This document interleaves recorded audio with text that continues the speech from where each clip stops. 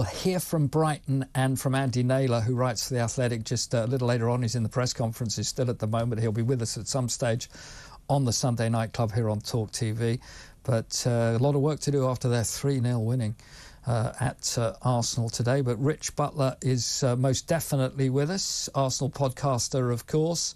And uh, an apology tonight from Mikel Arteta, speaking uh, as he was earlier to Sky. A week ago, I was standing here feeling proud, and today we have to apologise for the performance in the second half. It wasn't acceptable. He goes on to talk about how mathematically it's still possible, but we can't even think about that with the way we played today. Uh, got to take the chances, got to be more aggressive. But we mustn't forget either that Brighton are a decent side, and as soon as Arsenal lost their grip, they showed why they are and why they've troubled so many people this season. Yeah, I mean, obviously, I'm so disappointed with how we played today. It was a really, really poor performance in a game that we had to win.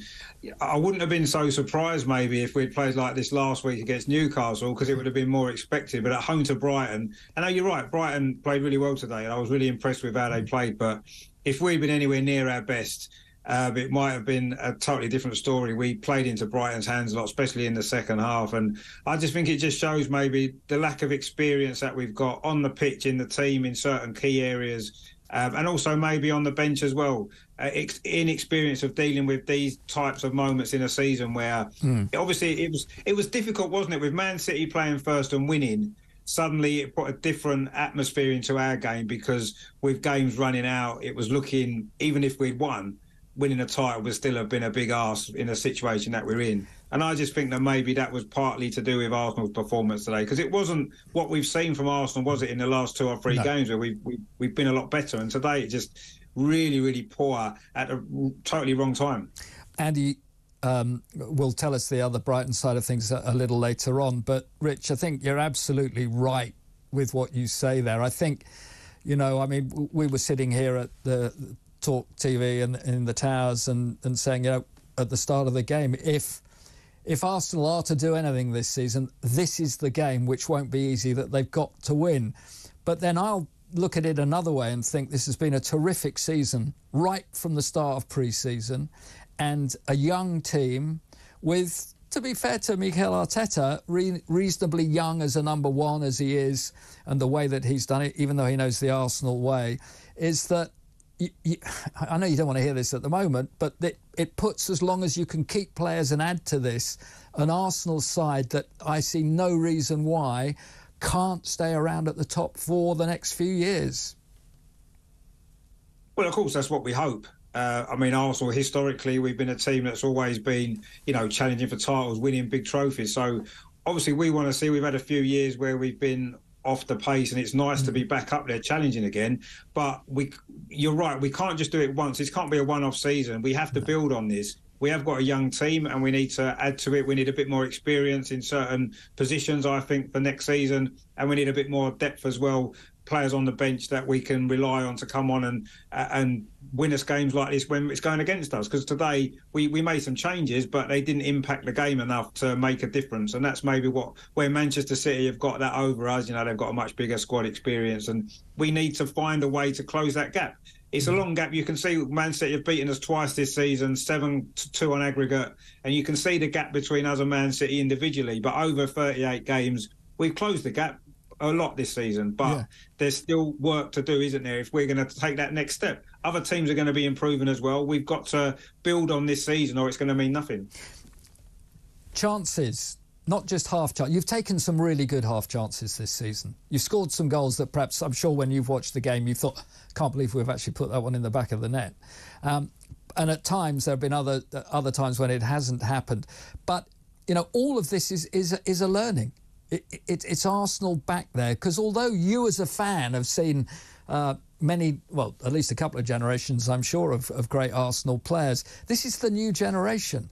So they haven't they haven't completely understood this all the time. They, as you said right at the top of uh, this interview, you know, we're on the under pressure immediately because Manchester City have already gone and won today.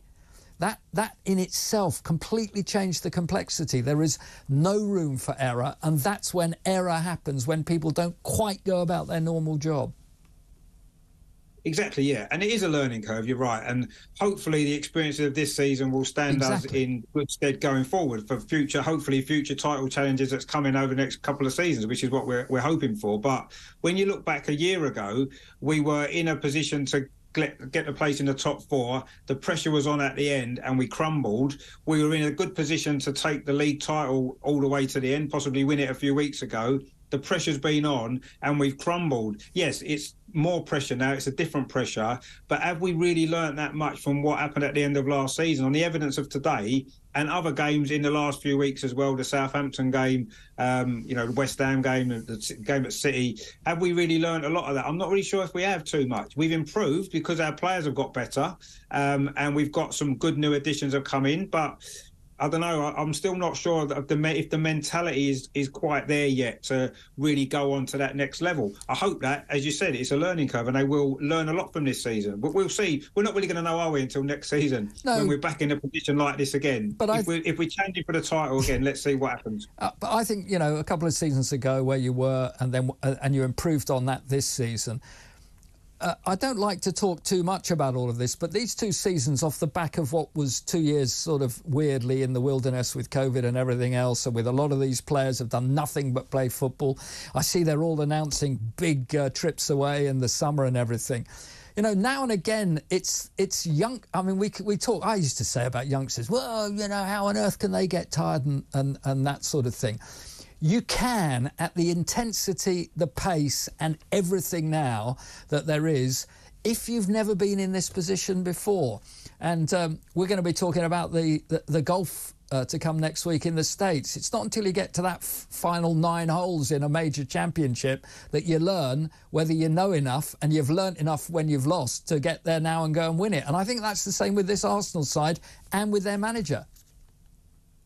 Yeah, I mean, potentially, I think that's definitely what's happened this season as well. And yeah, you, you don't you learn more, don't you, from yeah, failure than you do yourself and those you can trust in your dressing room, and and how those yeah. that you can tell the right thing to. Others you can't give them a bit of a telling off because you know it'll crumble and and what have you. I mean, it's a fine line these days.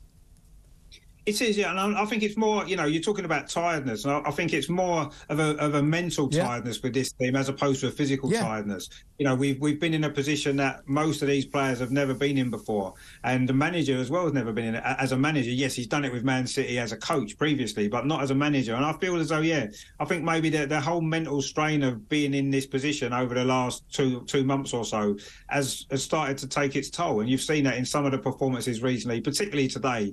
I mean, that was totally out of the blue how badly we played today, actually. And you've mm. got to give Brighton credit; they they came and did a job, and they're a very good side with they some are. very good players. But we were that was a really unexpectedly bad performance at this point in the season. And I don't know where that came from. Was it the pressure? Was it the mental tiredness? Was it the fact Man City won? I think all of those things together as well, plus the fact that maybe on the day, it wasn't quite our day, was it? Nothing no. quite came for us. Nothing quite fell for us in the in the penalty area, and we made a couple of terrible defensive mistakes and got punished. Yeah, exactly that. And another day, one of those. I mean, you, you know, you, when your defender slipped, whether the boot came off or what happened, and I mean, it was all a bit of a mess, wasn't it, for that that particular uh, goal? And uh, that's the sort of thing that that can happen at any stage. I think another thing that uh, uh, I'm always fascinated with, and, and you get the spin from commentators and pundits and you know the Gary Nevilles of this world, who through his own experience will say, "Oh, you know, this is going to be either Man United or Manchester City's title this year. Arsenal have still got to wait, Newcastle five years time, and all this sort of stuff." I don't think that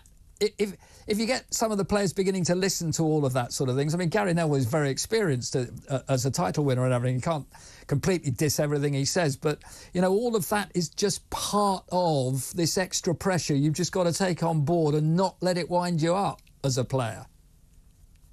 Yeah, exactly. You have, and maybe part of the fact is because it is a new experience as a manager for Mikel Arteta as well. He's got to deal with that and then get that over to the players, hasn't he? And it is mm. it's difficult to win a league title for any team, oh, no, no, matter how hardly many any of them have ever done it. Yeah, exactly. I mean, the only two players that we've got have won the league in England have been the two that we bought from Man City last year, and one of them was injured today anyway. Yeah. And I mean, it is it is difficult to win a league. It's difficult for Man City to win a league. It's difficult for anybody to win a league title. And it takes not only it's not only about your ability as a player or as a team or as a coach. It's about that actually having that uh, ability to, when the pressure is on, to be able to put that aside. Look at Man City; they've had to win 10, 11 games in a row, mm. and that's what they've done mm. because they have that experience to know how to do that. Man United, what you mentioned, Gary Neville, when he played, that's mm. what they used to do every year, didn't they? Yeah. And it's not going to come from nowhere. And Arsenal needs to learn from this this this season, and we need to say, right, okay, next season when we're in this position, which hopefully we will be, we can build off the experience and, that we've got from this year and the disappointment and channel that in the right direction and be able to get it over. But is it? Is, uh, can we do it in a year's time? Is that still too too soon? Well, do we need lockdown? I, I don't know. Um, uh, you, perhaps you can. I think one of the other things that when we're in this position and then we look at the clubs, whatever the divisions they're in, I certainly think the intensity at the top of the Premier League, where you have to be on it or any side will beat anybody else, is that it now depends what the board, what those who uh, are going to be looking at um, player recruitment are doing now, what you really need to add without completely destabilising what you've already got. These are all things that are essential and needed. And I think that's as an important part of where Arsenal are now that, that, that those people have to be in tune with the manager and what he wants and what the players themselves need alongside them do they need another goal scorer? Do we need somebody else who's got a bit more pace at the back? Were we exposed at times today because one or two of our players have played too many games this season? All of these things have got to be taken into account as the way they were by the great Sir Alex Ferguson, whatever you thought of him, and the likes of Pep Guardiola and others. That is what they do.